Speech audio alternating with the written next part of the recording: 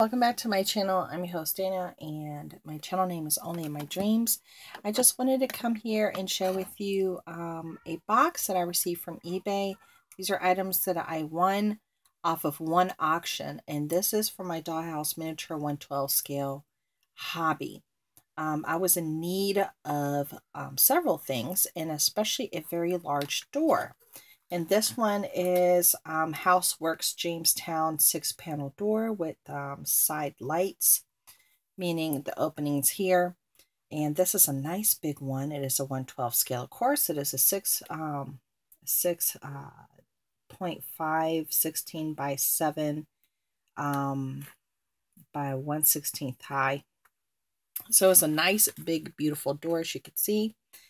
And I'm hoping that this will be the ticket to my very large dollhouse that I have here behind me. Um, I'll put uh, a link to my dollhouse miniature uh, videos if you want to go check out that house. It's huge, huge, and it's absolutely beautiful. Um, it's like a house that, you know, I would even love to have in real life. so I got this. I was really happy to had won it. Um, so I'm going to show you everything else that came along with this auction. So I got this beautiful door. Put the door right here for now. Actually, let me put her here. So I got that door. then along with that door, um, I got these. They came these um, um, new post. They're called newel posts. These are six pieces. So they came with that. And one set of these larger type, type um, louvered shutters, which you can also convert these into, you know, um, if you get like more than one set, you can make this into a folding um, bifold that you can use as a decorative screen but they only I only got one set of that one. I got three sets of the louvered shutters in this smaller diameter. This is the Houseworks 5025. Um, so I got three of these and they come in sets of two. I'm not too sure if I'll be able to use this on my on my house that I've been working on that I've been sharing with you, but I'm going to find out if I can um because it's a buttercup so this might be too big but i'm gonna check it out then it did come with one of the um, Shenandoah Designs Builders Collection two-piece package of legs. Um, these are very beautiful decorative legs as you can see. These are great so when something breaks you can just replace it. Then um, these are the decorative, um, this is called decorative brackets. Um, these would look very nice in a Victorian style house. And there's four of them. Then I also got the Yorktown pediments. You get two of them. Um, these look great. Not only outside of the outside front door, but these, if you want to make your own um, fireplace, you can use this pediment as a top piece. You just build the bottom and then you have a very nice, beautiful, beautiful decorative. If you see the detail in that, do you see the detail in that? Look how beautiful that is. So you would have a really beautiful mantle. Um, you know, it's all up to you on how you want to work your hobby. Along with that, they sent this. I won that. This is the Shenandoah Designs. It's a two um, piece decorative. If you see the detail on that, it's very pretty. Look at that. Then um, I also got a two-piece side lights. Um, this is um, for 610. This is not going to go. Um, well, it says it goes with the Jamestown. It says it does. It's two of them in there. I don't know if you could see. You see the design. It says it goes in there, but I'm not too sure. I'm honestly not too sure if it'll fit, even though it says it does go with it, because I'm looking at it maybe it'll just fit. So these would go right here on the sides for the side lights, okay? So that's what would go with that. Then along with all of this, I also, all this is all one auction. I got the Houseworks York, Yorktown double hung windows. These are, of course, non-working, so they don't go up and down. Some windows do go up and down. And um, it does come with removable acrylic, which is really nice. So it's two of these, and if you can see, they're very decorative. Now, if you don't have a house, or if, if you don't have like um, a house to work with this, if you don't truly need it, if you decide to make a room box, you can create a window and use these, and it'll look beautiful. Or you can dismantle these and create other things with it. Um, again, this top piece right here, if you see all this decorative top piece here. I hope you guys can see that. Um, that would be great for a fireplace or as a mantle. Um, and you can use the wood pieces if you dismantle them for other things. It's up to you on how you want to on how you want to work that.